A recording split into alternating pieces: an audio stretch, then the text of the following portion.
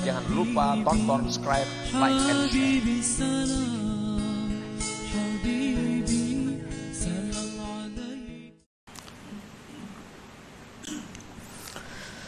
Nah para muhibbin rahimakumullah. Wa farikun alwasilun. Nah satu golongan lagi yang disebut dengan ahlullah itu ulang wasil. Itu sudah jelas. Artinya al-arifun billah Orang yang sudah kenal dengan Allah Orang yang kenal dengan Allah ini humul ladzina saru sayran tawila Orang yang sudah berjalan jalan yang jauh hatta wasalu ila an la yaraul kaun illa ra'al mukawin sehingga mereka telah sampai kepada bahwa tidak memandang sesuatu kecuali memandang Allah Subhanahu wa taala. Nah, ini makin makin dekat lagi lawan Allah. Makin dekat lagi. Artinya kita nih belum ma'rifat kepada Allah, belum ma'rifat lagi. Cuma kita nih ada kemauan untuk ma'rifat dan sudah berjalan. Nah, daripada murahnya Allah, kita ini sudah disebut dekat dengan Allah. Padahal belum paparakan lagi sampai, tapi kita sudah berjalan. Nah, sudah berjalan.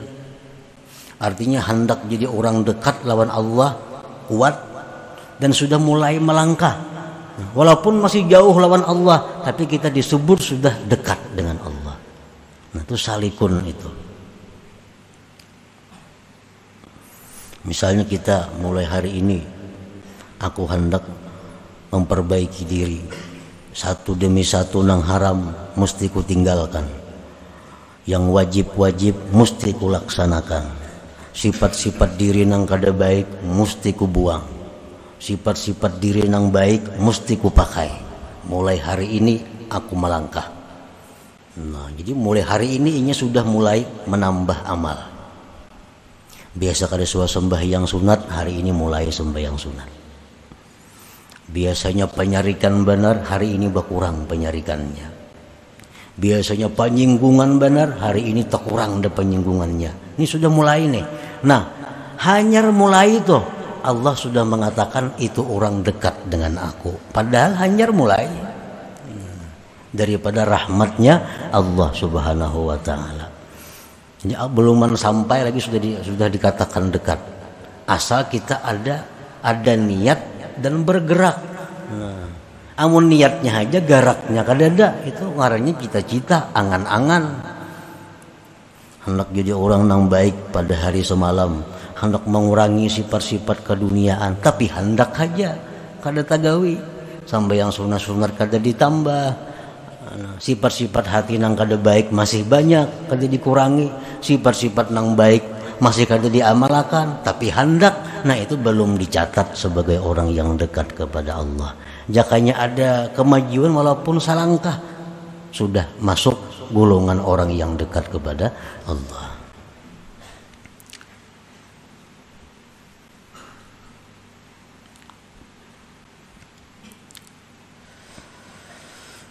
As-sairun awis salikun idza amilu ta'atan la ya'taddunaha salihatan li hadrati rabbihim li ru'yatihim naqsan wa aiban fi ta'atihim Orang-orang yang disebut salikun tadi apabila mereka itu beramal taat mereka tidak menganggap amal taat mereka itu patut untuk hadrat Tuhan mereka. Orang-orang salikun ini mereka sama sekali kadang memandang amal perbuatannya. Mereka itu sama sekali kadang menganggap bahwa ibadah-ibadah yang dilakukan itu patut untuk diserahkan kepada Allah. Orang-orang salikun itu mereka merasa bahwa amal ibadah mereka itu kada pantas dihidangkan kepada Allah. Nah, oleh karena kada pantas itu, lalu mereka kada memandang lagi kepada amal itu. Karena mereka melihat kekurangan, aib, celah dalam taat mereka itu. Ra'au salatahum wa siyamahum wa zakatahum wa hajjahum wa awradahum mulawwathatan bil uyub wal afat min ghafalat wa huzuz. Mereka itu melihat sembahyang mereka, puasa mereka, zakat mereka, haji mereka, wirid-wirid mereka bercelumur dengan aib dan penyakit. Daripada lupa, lalai.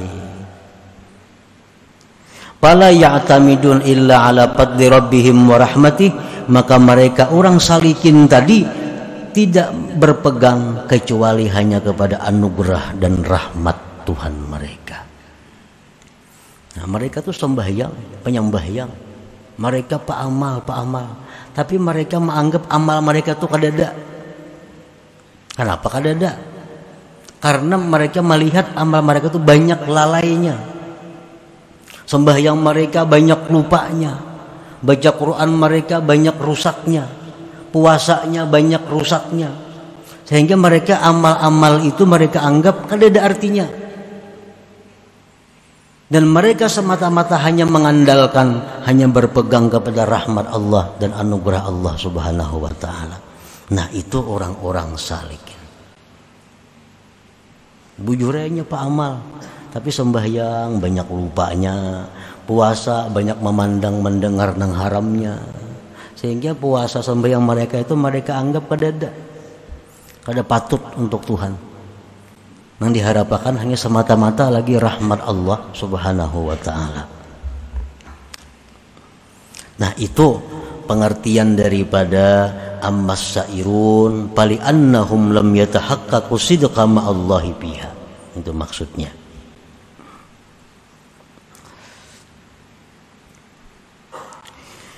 Wal wasilun in zaharat minhum ta'atun aw sadara minhum ihsanun syahidu dzalikal wahidal mannan ghaibun fi syuhudi ma'budihim.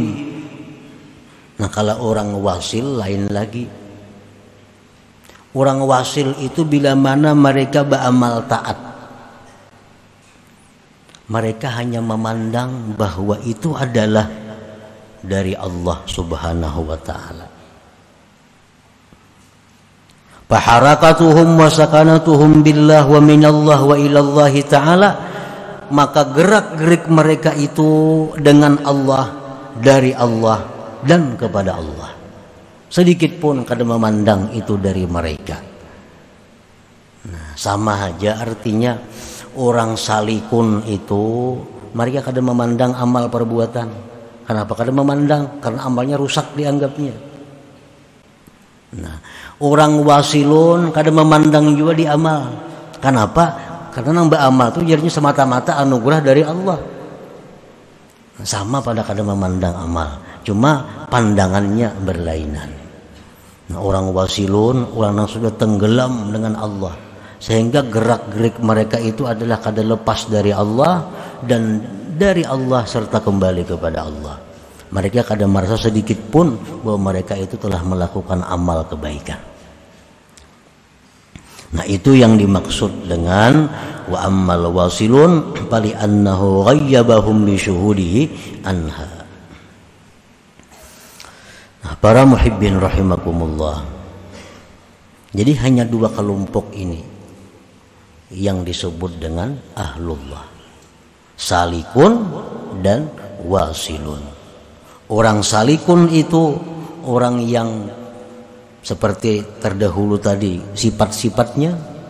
Dan bila mereka beramal mereka kadang menganggap amal mereka itu berharga karena banyak rusaknya. Sehingga mereka semata-mata mengharapkan rahmat dan anugerah Allah. Orang-orang wasilun apabila mereka beramal baik mereka kadang menganggap itu amal daripada dirinya sebab mereka kada daya upaya selain daya upaya Allah Subhanahu wa taala. Wa adamu ru'yatil a'mal wa nisyanuha fadzaka dalilun 'alal qabul. tiada memandang amal dan melupakan amal itu adalah tanda diterimanya amal itu ibadah-ibadah tuh nang kita lupakan. Ibadah-ibadah nang kada kita hiraukan. Itu ibadah itu tanda bahwa dia diterima Allah Subhanahu wa taala. Itu alamat bahwa ibadah itu diterima Allah. Kita kadang mengingat lagi kita pernah membaca ini. Kita kadang mengingat lagi kita pernah bersedekah ini kita kadang mengingat lagi kita pernah berwakaf ini. Kita kadang mengingat itu lagi. Kadang ingat lagi. Dan kadang menggandang lagi amal-amal kebaikan dahulu tuh. Itu tanda bahwa amal kebaikan dahulu itu diterima Allah. Tanda itu diterima oleh Allah. Tapi bila kita selalu mengingat-ingat amal kita. Aku dahulu pernah menyumbang ini 10 juta. Aku pernah dahulu memberi ini sejuta. Aku pernah dahulu ini sekian. Aku pernah dahulu berzikir 10 ribu. Ingat beberapa tahun masih ingat lagi itu. Itu tanda belum diterima Allah. Tanda belum diterima Allah. Karena amal kebaikan yang kita agung-agungkan, amal kebaikan yang selalu kita ingat, itu tanda masih belum terangkat amal kebaikan itu ke hadirat Allah Subhanahu wa taala. Kama qala al-Imam Zainul Abidin radhiyallahu anhu kullu syai'in min af'alik idza tasalat bihi ru'yatuk fadzalika dalilun ala annahu lam yuqbal. Li'anna al-maqbul marfu' maghibun anka wa idan qata wa man qata'at anhu ru'yatuka fadzaka dalilun ala al-qabul. Imam Ali Zainal Abidin berkata, tiap-tiap sesuatu perbuatan engkau, amal ibadah engkau, bila berhubung dengannya penglihatan engkau, maka itu tanda bahwa dia belum diterima. Tak ingat-ingat saja kita lawan ibadah-ibadah bahari itu. Tak ingat-ingat saja lawan ibadah dahulu. Dahulu pernah ini, pernah itu, ibadah-ibadah kita ingat saja itu tanda belum diterima Allah.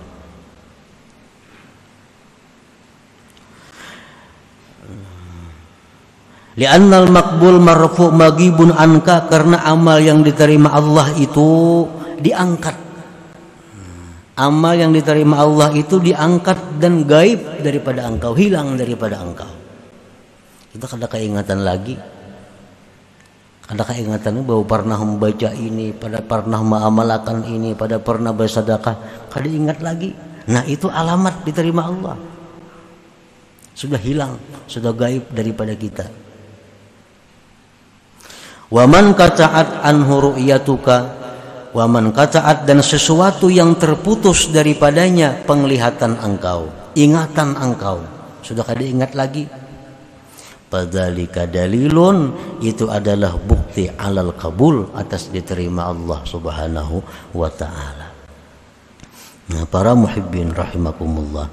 Jadi amal ibadah iza kubirat bila dibesar-besarkan sugirat nah, sagurat sagurat dia menjadi kecil amal ibadah nih amun kita besar-besarkan sagurat dia jadi kecil. Nah, lain hal dosa, maksiat itu iza kubirat bila dibesar-besarkan.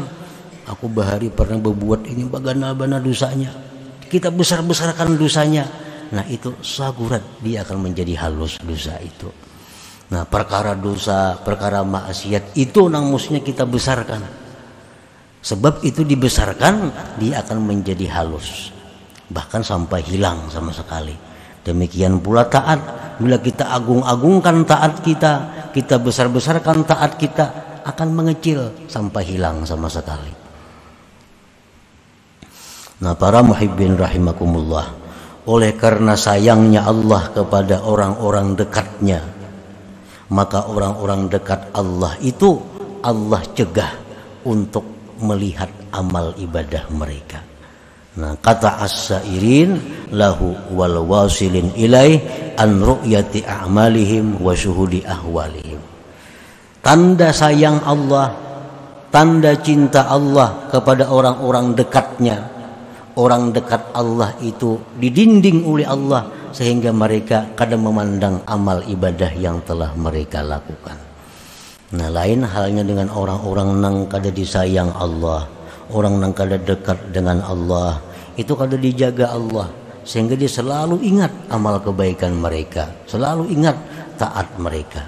Dan itu tanda bahwa belum diterima oleh Allah Subhanahu wa taala. Nah, lupa tonton, subscribe, like, and share.